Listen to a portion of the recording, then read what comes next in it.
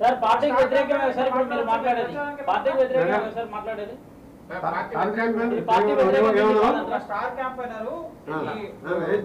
మూడేళ్ళ కింద వచ్చినాడు పిసిసి ముప్పై నాలుగేళ్ళ కింద వచ్చి స్టార్ క్యాంపెయిన్ ఏం మాట్లాడుతున్నావు?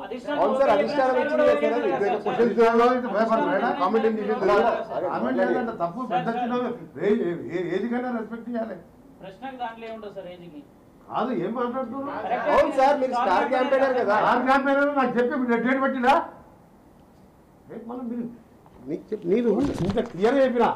చెప్పి లోకల్ ఎంపీకి చెప్పకుండా డేట్ పెట్టు తప్పు. లోకల్ ఎంపీకి చెప్పకుండా టీఆర్ఎస్ జాయిన్ చేసుకుని తప్పు. ఇవాళ దాసోత్సవం ఎందుకు పోతున్నావు పార్టీ ఎందుకు మారుతున్నావు తప్పకుండా. తెలియకుండా మల్లికార్జున నేను ఇంట్లో ఉంటా. ఇంట్లో ఉంటా మల్లికార్జున దగ్గర టీఆర్ఎస్ జాయిన్ చేసుకుంటాం నా ఊరు నగరగల్లు నా సొంతం నేను పుట్టిన ఊరు. నగరికల్లు అంటే నా మా అమ్మ వాళ్ళ ఊరు దాని పక్కకు మా ఊరు. టీఆర్ఎస్ జాయిన్ చేసుకోవచ్చా నాకు చెప్పకుండా? నేను చెప్తా రానా? వస్తానా రానా తర్వాత అది. చెప్పాలన్నా వద్దా? అసలు డేట్ ఫిక్స్ చేసేటప్పుడు నా పార్లమెంట్లో చెప్పాలన్నా వద్దా? మరి ఇవన్నీ మీరు వాన్ ప్రశ్నించాలి ఫస్ట్.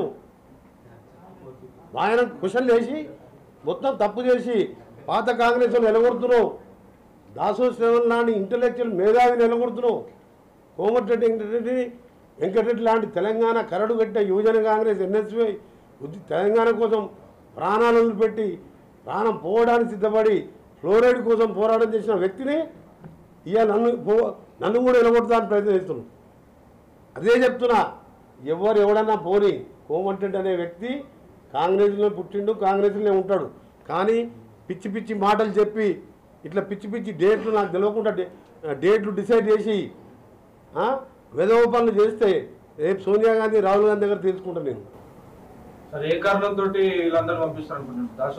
ఓ అందరు పోతే పాత టీడీపీ వాళ్ళని తీసుకొని టికెట్లు ఇస్తే పొత్త ఓడిపోతే ఓడిపోయింది ఓడిపోతే ఆయనకేమైంది బాధ? ముప్పై నాలుగేళ్ళకి మోసినాం ఈ రక్తం రక్తం రక్తం కాదు ఆస్తులు కరగబెట్టుకున్నాం. కాంగ్రెస్ పోతులు పోయింది. ఆ రోజు రాజశేఖర రెడ్డి చనిపోయి ఏడుస్తుంటే ఆయనేమో పావురాల గుట్టంలో పాపాలు చేసిడు పాపం అయిపోయింది అన్నాడు.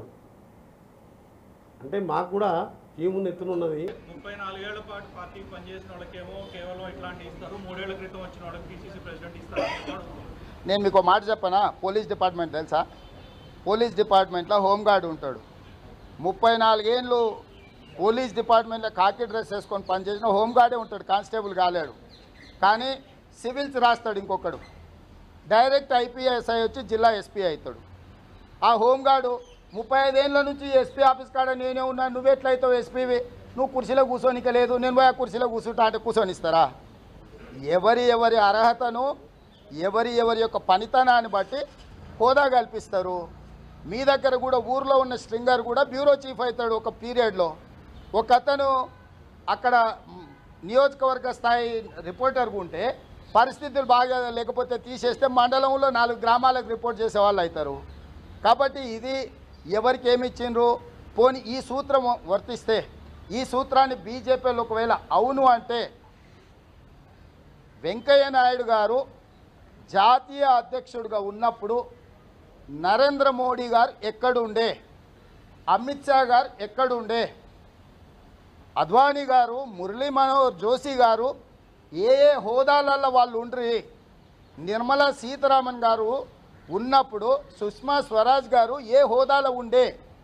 మరి ప్రభుత్వం వచ్చినప్పుడు మురళీ మనోహర్ జోషి గారు అద్వానీ గారు సుష్మా స్వరాజ్ గారు వెంకయ్య నాయుడు గారు ఈరోజు ఎక్కడున్నారు? ఇంకే రాజకీయాలలో పరిస్థితులు అక్కడ ఉన్న సందర్భాన్ని బట్టి వాళ్ళంతా ఎందుకు? ఇప్పుడు మిత్రుడు బండి సంజయ్ గారు అధ్యక్షుడైండు. కరెక్ట్ రెండు వేల పద్దెనిమిదిలో ఎక్కడుండే? ఏముండే బండి సంజయ్ గారు? ఇవాళ ఏమైండు? సో రాజకీయాలల్లా ఒకడు అదృష్టాన్ని ఒకడు పుంజుకోలేడు ఒకడు అదృష్టాన్ని ఒకడు చెడగొట్టలేడు. చెడగొట్టాలనుకున్నాడు బాగుపడ్డోడు కూడా లేదు. ఆ సినిమాలో ఏదో రజనీకాంత్ చెప్పిన డైలాగ్ ఉంది కదా? కాబట్టి వాళ్ళ వాళ్ళ ఇష్టం నేను ముందైనా ఇప్పుడైనా చెప్పేది ఒకటి. ఎవరైనా మిత్రులు క్షణికావేశానికి లోనే ఆత్మహత్య చేసుకోవాలనుకున్నప్పుడు మనం కౌన్సిలింగ్ ఇస్తాం. అదే ఇట్లా కాదు మంచిది కాదు చెడ్డది కాదు వద్దురా నాయన బాగుండు బతుకుండు మంచి రోజులు వస్తాయి. లేదు నేను దుంకి చచ్చిపోతా అంటే నిత్యం కాపలా ఉండలేం కదా.